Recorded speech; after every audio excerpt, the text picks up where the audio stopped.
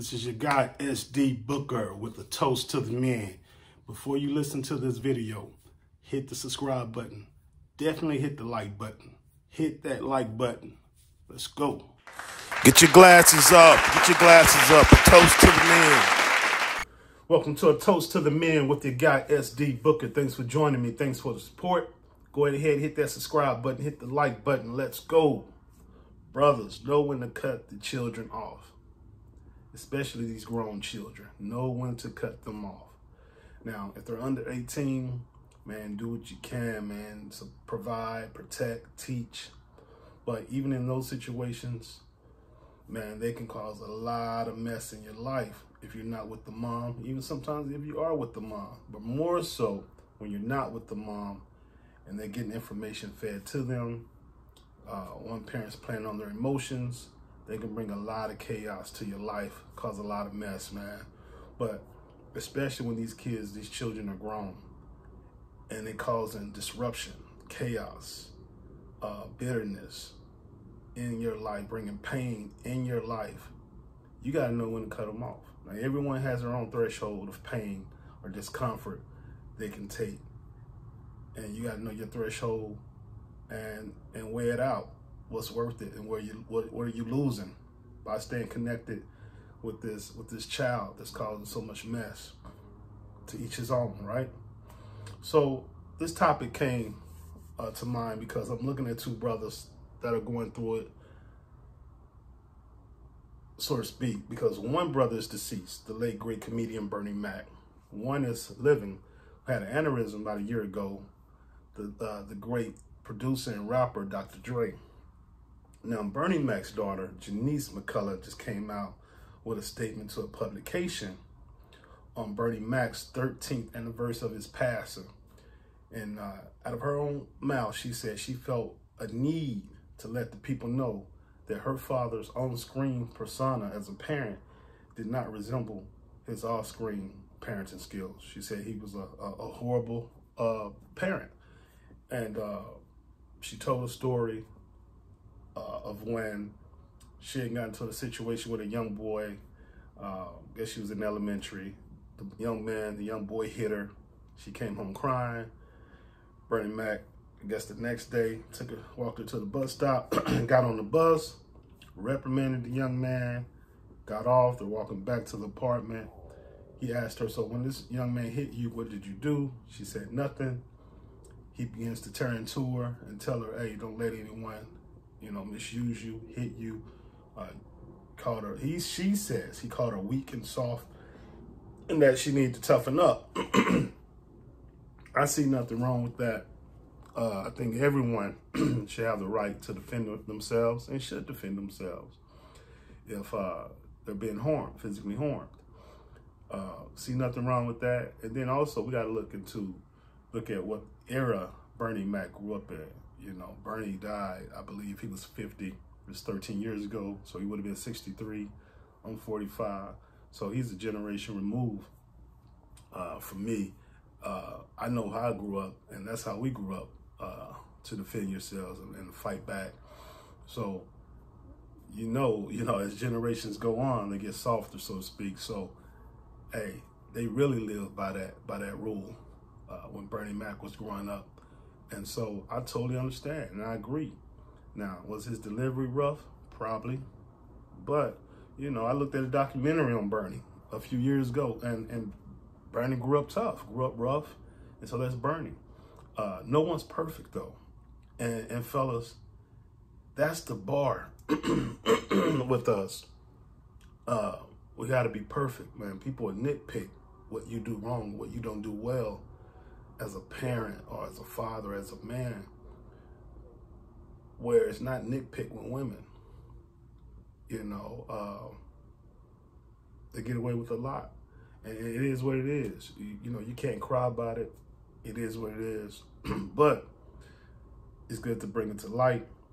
But fellas, you know, don't get so wrapped up into your children to where you lose focus and you start having resentment and hurt because you don't get the same passes and you don't get the same love or expression of love that the mom gets. It is what it is, man. But that's one reason my boy Mr. Palmer says you gotta keep those veins ice cold. Because a lot of times, man, these children can flip on you in a heartbeat if you tell them no or if you don't give them what they, what they want or if they don't like uh, how you're expressing yourself, how they don't like your delivery. And Bernie is a guy that raised his daughter from birth until he was in her life until he died. You know, uh, so she felt the need to dim his light, to uh,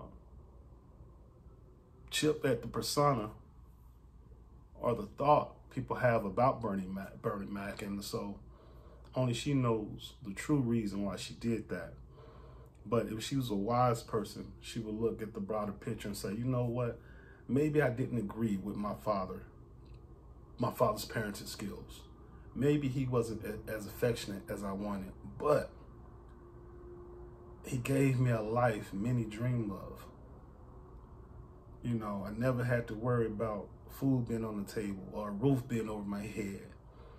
Had the best of schools, right? Had exposure to the lifestyle and different experiences and different cultures because of my dad's gifts, discipline, and talent. Seems logical to me. But that's the thing, man. A lot of these kids, they don't think logically. They think with emotion. And we know what, what's that what that what that is about. But uh that's why it's important for a man to stay balanced. It's so important because if you go up and down with the emotions of a woman or a child, man, you will be out of whack. You will literally drive yourself crazy. So, man, you got to be steady, be focused, be reliable, and sometimes you got to be ice cold. You got to be matter of fact and remove your emotions because you damned if you do, you damned if you don't. Now, we're going to take it to Dr. Dre. Dr. Dre his daughter just came out, tried to shame him. I say extort, bully, uh, him into providing for her financially.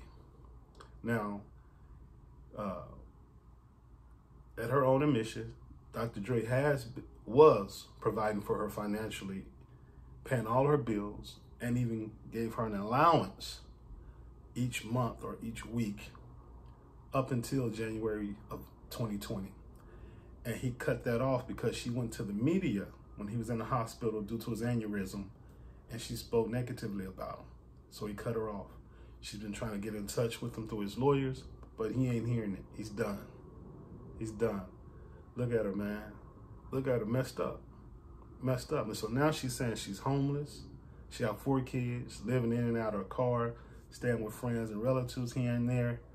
And now she's saying her dad should be providing for her. A grown woman with four kids. You see that? You see that, man? As soon as you say no, they want to dog you out, dog your name, dirty your name. As soon as you say no. As soon as they don't agree with something, they dog you out, right? That's because they see you as a resource. You got Bernie Mac, who raised his daughter. You got Dr. Dre, who didn't necessarily raise his daughter, but he provided financially.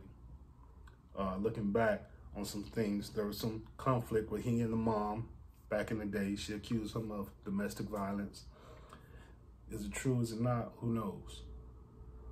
We do know at the young lady's own admission that her father was providing financially until January 2020. And he only stopped because she went to the media. Why would she do that? Why would she do that? Did she think he was going to die? She wanted one last dig to expose him? Why did Bernie Mac's daughter do that to him on the 13th anniversary of his passing? One last dig to expose him? Why? Why? Why can't the black man, why can't a man, period, be the hero? You know, why do you have to tear down that veil? Why do you have to expose him, remove the curtain? But the woman is uplifted. A lot of her secrets, a lot of her uh, downfalls, a lot of her mishaps and weaknesses are hidden that we'll never know about. Never know about, man. But uh, the man is exposed. And these are two men that provided, at the least provided. At least one man raised his daughter. Doesn't matter though. He he's boxed in with Dre. It's crazy, man. It's crazy when you when you look at it.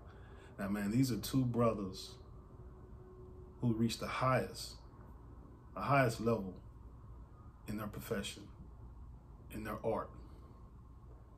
That's hard. That's challenging to be disciplined, to be that good, and then to be disciplined enough to hone your skills, stay focused, uh, endure the battle wounds, endure rejection, and still reach the pinnacle of your profession and to gain riches and, prominence and to be able to provide for your children and your family. And then these kids come back to dirty your name, to try to tarnish your legacy. Man, that's some cold blooded stuff, man. And uh, I mentioned in the book that I don't believe in falling in love. And a lot of brothers are in love with their children. And I was one of those guys too. And I had to really refocus myself, man. Uh, nothing should come before your purpose, your God given purpose. Nothing. And I was caught up in that. I was one of those brothers that was very much so in love with my children. And that thing came back to burn me. But I'm glad I learned that lesson when I did. Uh, you know, Shane Bernie, his name has been dirty while he's in the grave. And uh, Dr. Dre at the time had suffered an aneurysm. He was in the hospital. We didn't know that brother was going to survive or not. His daughter goes to the media dogging him out. And that's when she was cut off. I'm sure his, his lawyers or someone uh, notified him when he got well uh, and cut him off, cut, cut her off. And now she's complaining and trying to shame him. It's sad, man. You're damned if you do, you're damned if you don't. Uh, that's happened to one of my brothers. Raised raised his daughter, and uh, she gets grown. Uh, you know, and uh, he and her mom had divorced, and she just goes in one day as a grown woman about how he wasn't there. Man, his brother almost snapped. He went, "What? I wasn't there." He almost snapped, man. They had to grab him. That's how hurt he was. Like, do you have amnesia? Like, what do you mean I wasn't there? So yeah, they had to grab him, man. It was it was.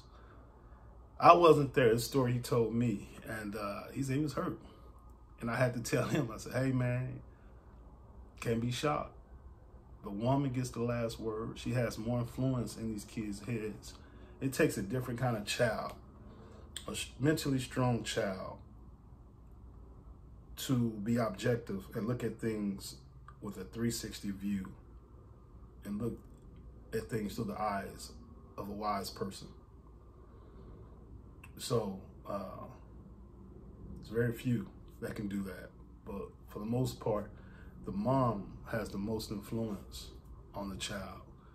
And brother, that's why it's so, so important uh, selecting the right woman to procreate with. Because, uh, brothers, you don't know what your kids are being fed. Whether you're in the house or not in the house. Real talk, man. Real talk. Um, man, I dated this this young lady, and uh, we started getting serious years ago. Years ago, and I told her son something, man. Um, I can't remember so long ago, but it was a it was a no to something, and in my face she backed me up on it, right? But uh, later they went to his room, whatever, and I could overhear her telling him, uh, "I'll get it for you." Well, just wait. We'll wait. We'll wait till he leaves or something. I'll get it for you. I said, wow. wow. So not only is that silly of her, betrayal of her,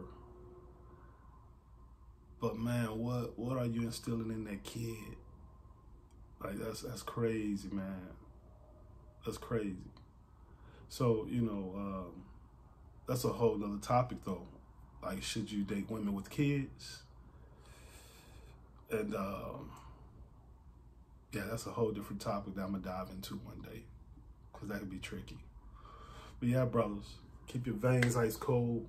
Hey man, be ready to love and be ready to cut it off. Don't get so wrapped up in them, man, because no one's gonna take care of you and look out for you, your sanity, like you. Take care of yourself first. Make sure you're well first. All right, from me to you, as always, love, peace.